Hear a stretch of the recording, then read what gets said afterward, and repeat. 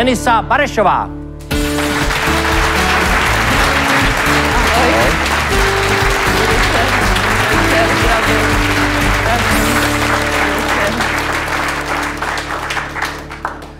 Tak teď trošku váhám, co ti mám nabídnout k piči. Dám si vodka soda limeta, prosím. Vodka se, se dali meta. Skinny bitch. A Já si doleju vodu a ty dostaneš skinny bitch. A Denisa Barešová, herečka, než ti to přinesou, tak my se můžeme zatím podívat na takový krátký sestřih z jejich mnoha rolí. Uh, od začátku do současnosti.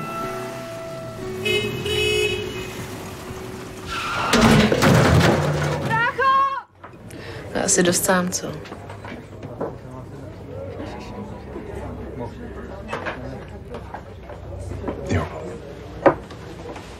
No, co?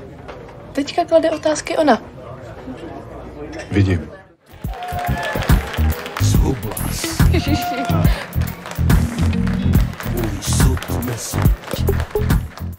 Chceš pomeranč?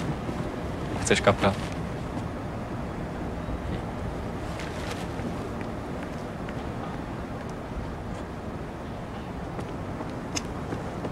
Ozvi se mi.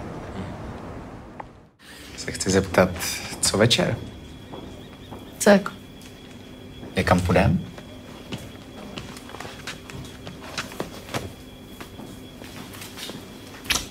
Vyzvedni mu.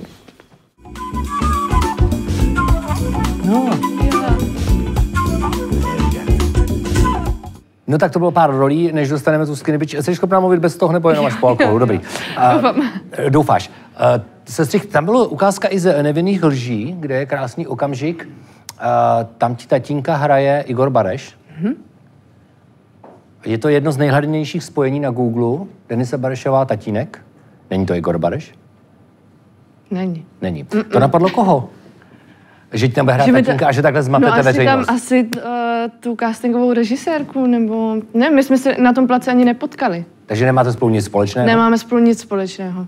Teda aspoň myslím, je tady moje segra, to potvrdí. Jako myslíš, že ví něco víc než ty? No, co já vím. No ne, protože ty, ale ty nejseš teda z umělecké rodiny? ne, Ne, slušná rodina. Co dělají rodiče? podnikatele. Podnikatele. Máma je porodní bába ještě. Porodní bába. A já vím, že bratr je veterinář, No. Ano. Kdyby, kdyby bylo potřeba v zoo. Ano. Na co se specializuje? Uh, já myslím, že na chirurgii, jako teďka je to tam nějaký všeobecný a že by potom chtěl hodně vrtat. Co tak předpokládám. Kdybyste potřeboval někdo, kdo by se vám vrtal v zoo, tak tady je možnost. No a sestra?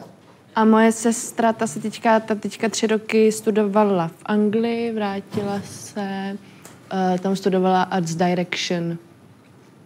My si to potom vygooglíme. No. Ale jinak teda slušná rodina. A ty jsi si říkala někdy, že se cítila jako černá ovce, když jsi přišla s tím, že bys chtěla dělat herectví. Jo, trošku, jo, jako trochu jo, protože uh, nevím, jestli to rodiče čekali nebo ne, ale tak jsem si připadala tak nějak blbě, protože ve škole mi to nešlo. Jako chodila jsem tam, ale neměla jsem dobrý známky, tak jsem jako... Ale chodila jsi tam. Ale chodila. Jako snaha byla. Jo, snaha byla. Jak často? No vůbec, já jsem v životě jsem nezatáhla. Fakt v životě, přísám. Jako žádný Ačko. Ne. Jako absent, ano, jako já jsem eh, třeba, když jsem zkoušela, nebo když jsem natáčela, tak jsem chyběla samozřejmě, ale nikdy jsem jako nezatáhla na černo. Že bych si napsala sama omluvenku. To jsi neuměla. Já jsem prostě měla svědomí, jako, já jsem, prostě jsem nebyla takový pankáč, no. Jo, jo, jo, takhle. No ale já vím, že totiž u vás se říkalo, že televize je zlo. Takhle jsi byla vychovaná. Jo, docela jo, no. Moc jsme jako uh, neviděli to rodiče rádi, když jsme se třeba večer ve všední dny koukali na telku. No jo, tak Když tam dávali různý filmy, třeba Samotáře. že- to nemá dobrý Ne, vliv. ale tak jako zase na druhou stranu to, uh, myslím si, že jako nás vzhledem k té televizi vychovávali zdravě, jenom pro nás to bylo strašně atraktivní jako děti, aby jsme se na to furt koukali. Takže jsi chodila k sousedům se dívat na televizi, viděla, jak to vypadá. Ne, ale tajně jsem si někdy pouštěla u rodičů v ložnici, když pracovali dole, tak jsem se tam chodila koukat na telku třeba na vyvolený. Pardon, já ti poprosím. Takže ty jsi takhle tajně, ilegálně, no to byl skoro design, to je jasný. Jo, děkuju, děkuju teda, to je skvělé. A vyvolený dobrý, jo. Jo, to mě strašně, já mám natočený ten poslední finálový díl na videokazetu. A po večerech si pouštíš poslední díl? Ne, ne, ne, ne, to je někde schovaný, to ani není podle mě nadepsaný, ta videokaseta, že aby na to rodiče nepřišli, že jsem se na to koukala. Ale pouštěla jsem si to často, tak to bylo hrozně napínavý, že jo. Krásné dětství, no ale eh, rodiče ti říkali, že televize je zlo, drželi tě o toho, co nejdál, a přitom oni sami tě přivedli, ne, do Dismanova souboru. Jo, ale tak vlastně to byl, to, byl rozhla, to byl rozhlasový soubor, Ale rozhlas neškodil. uh, rozhlas neškodil, A to jestli to nebylo v té době, kdy tam pan Bobek dělal šéfa. To bylo tehdy na dost vysoký úrovni a dělali tam přenos, tam dělali taky reality show z toho, jak cestou uh, jo, čápy. ale Jo.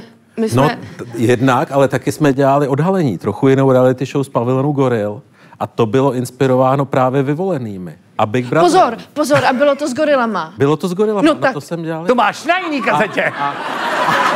Ale ne, pozor, no. já jsem to sledovala, já jsem se na to koukala znova a znova, jak se tam krmí ty gorily a tak, já jsem úplně jako milovala tu moju prostě. No. No, A hej, to tehdy je bylo, dobrý. že byli vyvolený o 10 milionů, Big Brother o 11 milionů, jak se trumfovaly ty televize. A my jsme to teda udělali o 12 milionů. A to jsme vyhlásili, že bude jiná reality show nějaká v rozhlase a že bude o 12 milionů. Všichni si mysleli, že 12 milionů, kde to rozhlas vzal. A byly a tam bylo ty to... skrytý, nebo ne skrytý kamery, no, No, no se tam to byly dalo online kamery, sledovat, no, co, jo, to, jsem, to jsem sledovala. Takže tady je ta divačka toho. Takže s vyvolenýma společně ještě gorily. jo? A, a Jo. vztah k Richardovi? No, tak alfa samec, víte co, jako. Tady to máte. Jakže to dopadlo s tou holkou v tom Amsterdamu? Ale já jsem fakt byla hrozně fixovaná na tu moju, jako, že ta se mi ještě ona nějak, já jsem to No, tak. vnímala Jakože strašně. plakáty doma. Ne, to úplně ne, ale tak jako vesmírně jsem to vnímala, že ona se nějak jako narodila v prosinci nebo co, takže taky střelec, jakože prostě, no hrozně se mi to líbilo. Úplně si to pamatuju, jak se tam dávalo to krmení těm gorila. To je super. Takže úplně jako prolnutí duší v zásadě. No, asi jo. no. A moja už vlastně tam teďka není, ne? Ta už dlouho Ta je už ve dlouho Španělsku. není. Mm. Už se nešla chlapce.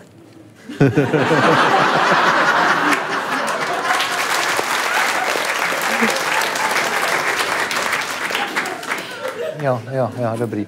No a co teda rodiče potom, když ti řekli na to, že budeš dělat herečku? Že tebe přijali, ty jsi musíš být extrémní talent. Už v septimě na gymnáziu tě přijali na damu. Jo. Jo. No, Za to eh, se nestyď. To... Já se za to nestydím, ale ono to není zas uh, tak neobvyklý. Ono se to docela často děje, že vlastně ty děcka ze třetíku nebo ze septimy dělají ty přijímačky, aby si to vyzkoušeli. Já jsem šla takhle stejně a dostala jsem se tam, takže jsem zároveň maturovala, byla v maturitním ročníku, měla jsem uh, individuální rozvrh a vlastně docházela jsem na damu každý den. A jo, jako tak rodiče mě, oni mě vždycky podporovali v tom, co chci dělat, jako byli zlatý, jenom asi si, eh, myslím si, že jak eh, neznali ten umělecký svět, tak eh, měli nějaký automatický, logický předsudky. Asi se o mě spíš báli, si myslím, No jo, to abych do toho nějak nezapadla nebezpečně, ale... A tak eh, si potom se mi- přišla na damu a tam si říkala, že tam si potkala pravou pubertu. To, to bylo před mojou nebo po moje? To bylo po moje. To bylo po moje. Moja to, já nevím, kolik mi mohlo být třeba, nevím, 9, 10, já nevím, jak je to dlouho zpátky, ale No, tak já jsem to někde řekla v nějakém rozhovoru, že to byla jako puberta, ty večírky a tohle a no. No a byla to puberta nebo nebyla? Asi ne, asi to, to už jsem byla takový pubescentní adolescent. jako, že už se to tak přelídalo, nebo už se, já nevím. Jo, ale bylo to prostě divoký. Jo, bylo to jo. Jo, tak tak- ty, to, to, se ví, ne? Co? že na, na té domu je to divoký. Já nevím, já to nestudoval. Tak to víš. No hele, už to nestihnu, tak jsem se chtěl zeptat, jak divoký to tam bylo? No ježiš, Jako no na tak, právech třeba? To asi ne. to já nevím, já jsem nestudovala práva zase, ale Tam ti může napovídat. No, ale tak jak uh, prostě večírky v docela uh, krátkých intervalech, někdy propojený večírky, večírky ve škole, po škole, uh, prostě normálně jako zábava, když je člověku 20 až 30, co já vím, to je jedno. To si to dost dlouho. To ti totiž to dlouho, jakoby. No a potom teda zvesela do divadla. Jo, No ty máš samé krásné role, pokud vím. Ano. Třeba ve Švandově divadle hraješ uh, hadry kosti kůže, se to myslím jmenuje, tam hraješ dvojroli. Ano. Dvou dcer uh, Jana Vericha a A Vladimíra Holana. Vladimíra Holana. Jaké to je? No, ty role jsou úplně rozdílný. Eh, Kačenka Holanová měla... Ono to předtím nebylo, myslím, definovaný jako Downův syndrom, ale byla uh, hodně postižená a uh, zase Jana Verichová, ta byla postižená slávou svého otce, no. To pro ní bylo těžké v tomhle směru. Takže uh, je to hezký hrát je obě dvě a hm, nevím, chci se ještě na něco dalšího zeptat? Jo. A, ne, to musí být uh, krásný takhle dvě role. A ty ty dvě role máš často v představení? Protože třeba když robot píše hru, Jo. tak tam hraješ, to se mi líbí, ty tam hraješ dvě postavy. První je masérka, ale spíš postprostitutka. Ano. Zatímco druhá je herečka, ale spíš je to robotka. Jo, ono To totiž eh, vysvětlit. robot ty postavy napsal, ta jedna se jmenuje masérka a jedna se jmenuje herečka, ale to, jak my jsme to uh, přenesli na to jeviště, tak je to spíš taková, tak ta masérka je prostitutka a ta, a ta herečka je holka, která je převlečená za robota a chce být robotkou. Taková jako faninka robotů, bych tak řekla. Jasně. Herečka to není. A to je hra, kterou napsal robot. Ano, jako tu opravdu. napsala, ano, tu napsala umělá inteligence AI a vlastně to generuje dialog, ty tam napíšeš ty dvě postavy, potom myslím první větu nebo první slovo a pak máš klikátko a ono to generuje repliky. Můžeš se vrátit zpátky, ono často se to začne točit v kruhu. V kruhu. Já jsem to, já jsem to uh, neklikala, to dělali naši dramaturgové, ale takhle nějak jako jednoduše v principu to Takže funguje. pro vaše divadlo už, hrajou, už, už píšou hry roboti. Jo, a je to hrozný. Jako proč? No nedá se to hrát, je to hrozně těžký. Když jsme to zkoušeli, protože jako normálně tě baví, že uh, ten autor má nějakou duši a to, co je tam napsaný, tak uh, primárně neznamená to, co je tam napsaný, ale jsou tam nějaký Jo, něco jo. zatím. No. Ale tady v tom prostě to, co tam je, tak tam je a často to nedává smysl a tím, že jsme se snažili to uh, dodržet přesně ten text, abychom to přenesli, to dílo vlastně dokonale, protože kdybychom si to upravovali podle sebe, tak eh, to vlastně si tu práci zjednodušíme a neukážeme ten, eh, tu, tu, jako tu pravou podstatu toho. A tím nemůžeš tam používat moc intuici, je to fakt hrozně divný. Byl to jako, byl to velký voříšek. Takže v podstatě uh, si to představuje jako texty některých českých kapel. Můžeš si to tak představovat. Jo, taky jako, že si říkáš, že to moc nedává smysl, ale to takový, uh, ty si dovedeš představit, že by, ty píšeš nádherný texty, uh, už nechci tady propagovat, ale uh, že by si to zadal robotovi? To by se dost ušetřilo práce, ne? Ne, tak já jsem to viděl, jako to, je, to, to je samozřejmě jakoby velmi hezký pokus a e, vlastně se musíme ptát na to, jestli jakoby prostě jako člověk chce pochopit robota, anebo jestli robot má pochopit člověka, jako jo, a v tom je ta otázka, jako no, to, to od RUR, jakoby co napsal Čapek, je, to, to, tohle to je, je, jo, je nějaká jako artificial intelligence, která jakoby opravdu je schopná psát divadelní text, když se mu zadá prostě něco. Já jsem to viděl, ten, uh, tu věc, je, je to zajímavý pokus a souhlasím s tebou, taky bych to nechtěl hrát. No. Jako no. Ono to fakt, no. bylo, bylo to těžké, ale tak teďka se to jako uh, hraje a vždycky potom následuje debata s tvůrci a vlastně s těma uh, lidma z ČVUT a tak, No. co to vytvořili, že v tom to jako má... Uh, Je to spíš taková laboratoř ano, vlastně. No. ano. Jako, přijde mi super, že se to zkusilo, ale nedokážu si představit, že by mělo vzniknout něco dalšího a uh, Ne, zůstaneme u těch lidí. Mně se líbí ty lidský autoři. Ro- Mám Rozumím. je raději. Mimochodem, ale měl za to honorář, ne ten robot. Šli, jdou, Honorová. jdou mu tam témy z každého představení, doufám. Samozřejmě. Jo, jo, to bych byl jako rád, aby se to tady neto. No ale my myslím, že u těch ro- rolí, tak asi nejslavnější je Marcela, ne, z Kukaček? Jo? Asi jo. Že jo, tam jezdíš na motorce, No, asi jako jiný. sundám helmu vedle motorky. Ne, to byla dublerka samozřejmě, promiňte teda, že jsem vám to takhle propálila, ale nebyla jsem to já. Tak jako na té sajdě, na té sajdkáře jsem nikdy nejela. No ale jinak ty říkáš, že jsi ochotná pro roli udělat lecos? Jo. Co, co všechno? Nevím, tak... Mně se tady ten eh, poctivý přístup herců líbí. Zubnout, stlousnout.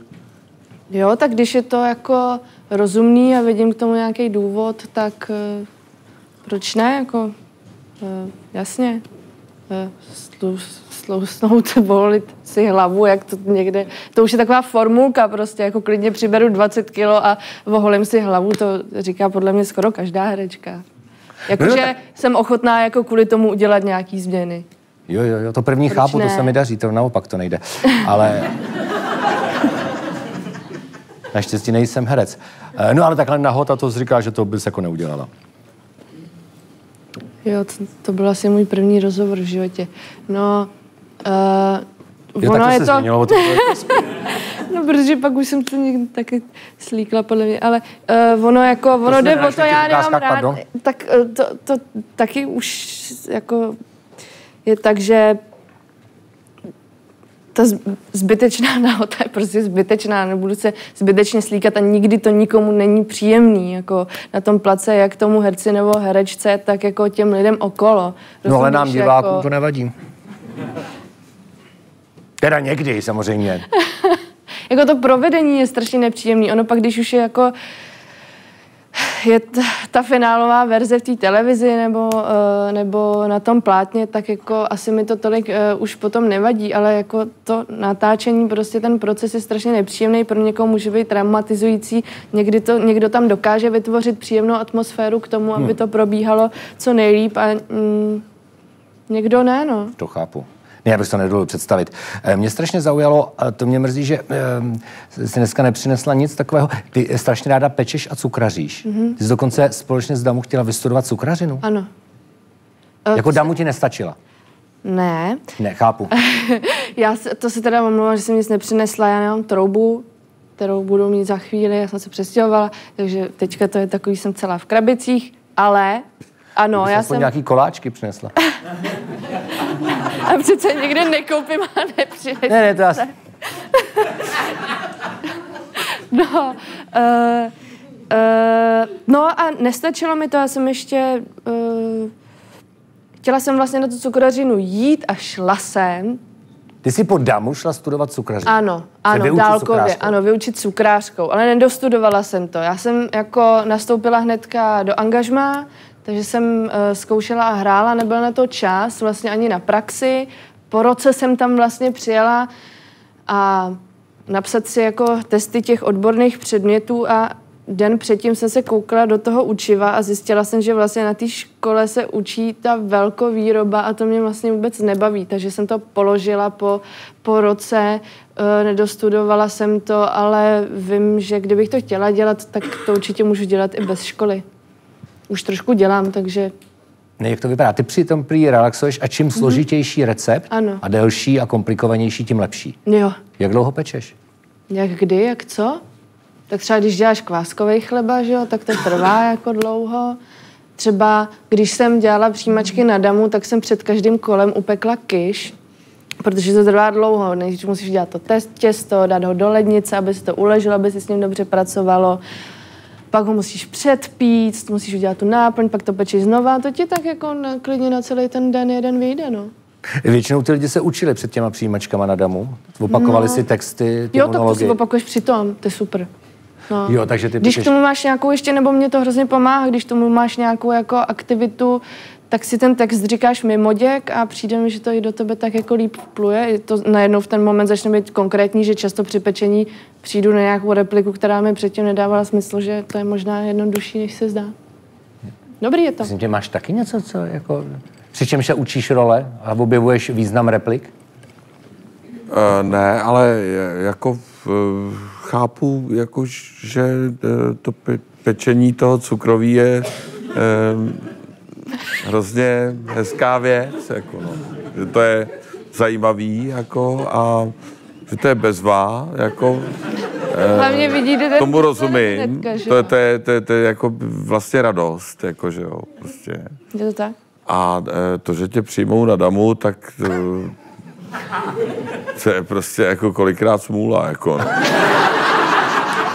to, je, to je prostě, jako někdy člověk zjistí, že nej, nej, nejlepší je právě jako by si dělat, co tě baví. Jako, Hmm? že jo, prostě.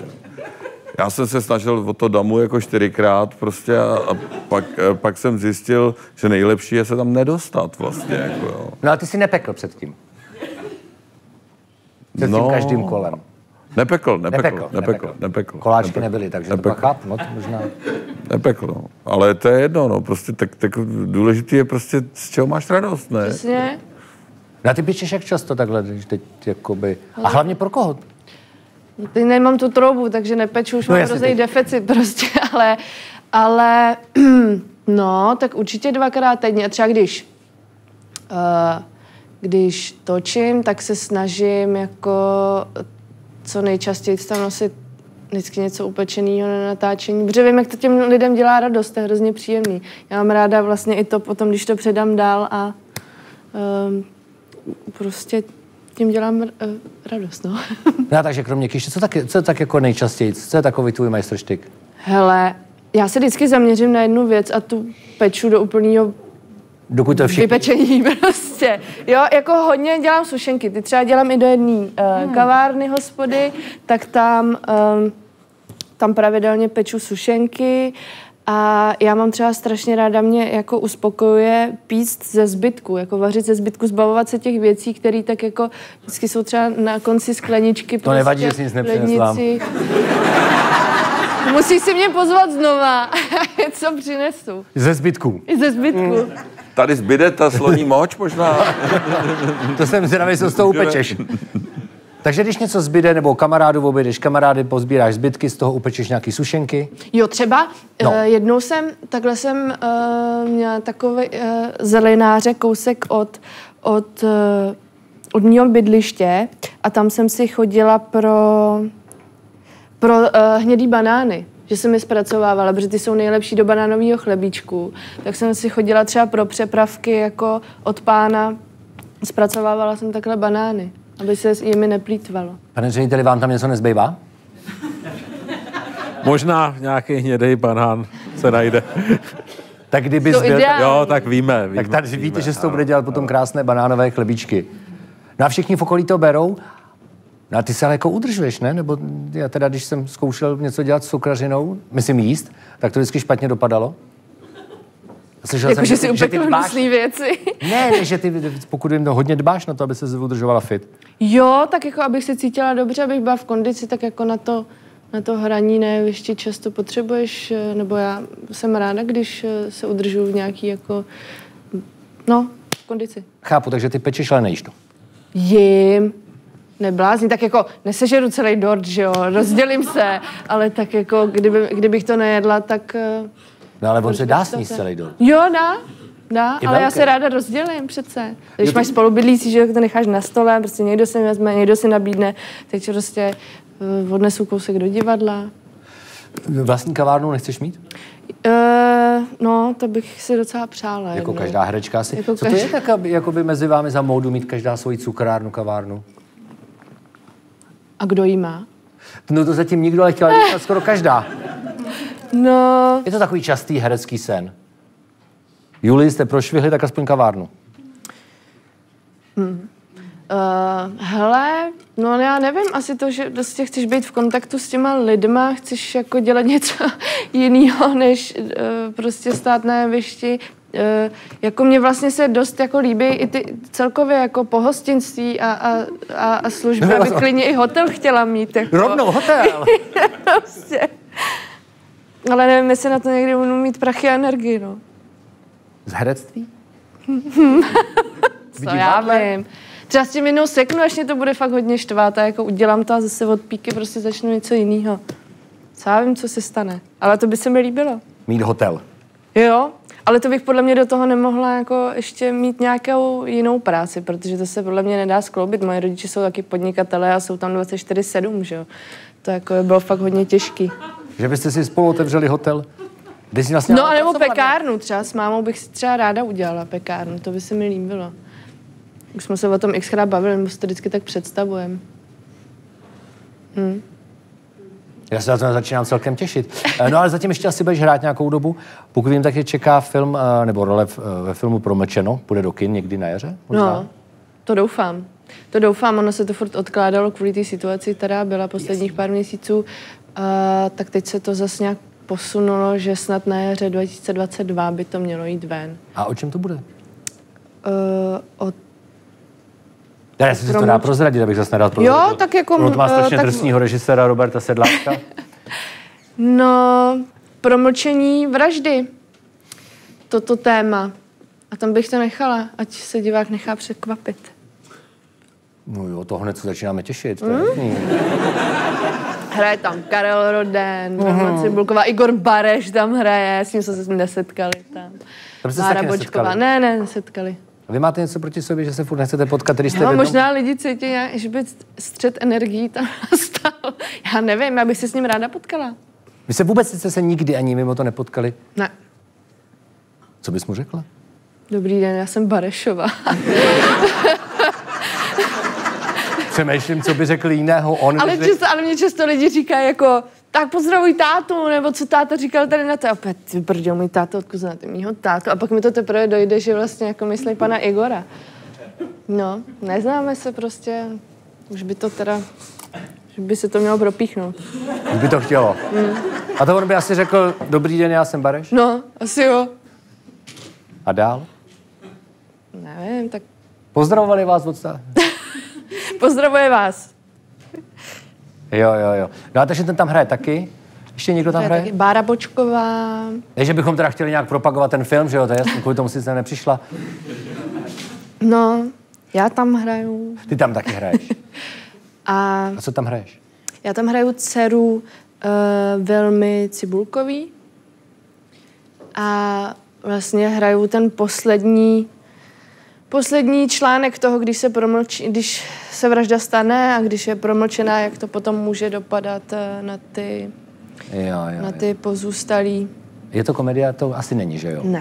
A ty vím, že se někdy říká, že by si ráda zahrála v komedii. Komediální roli.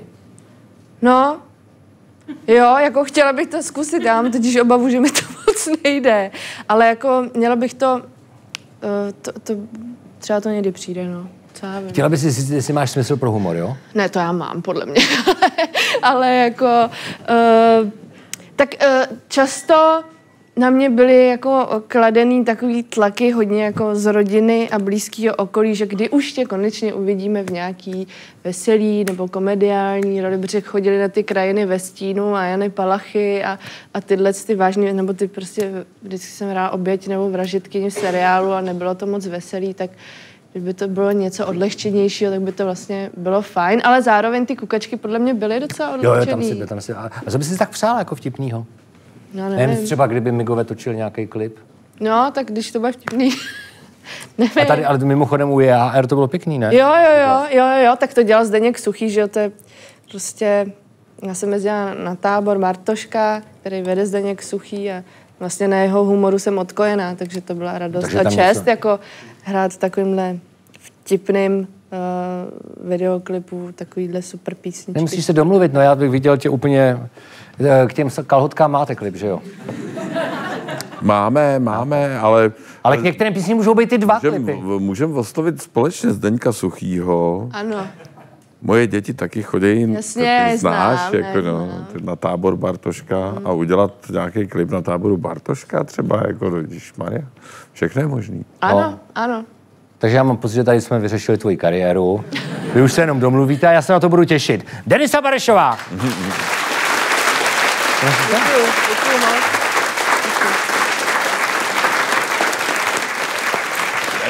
Chceš víno nebo sloní moč? Nebo A tady, Zdravím ještě tohle. Jo, tak to musíme říct. Ještě. Já počkám. Nechce ani víno, ani sloní moč. A co chce? Chce ještě tohle.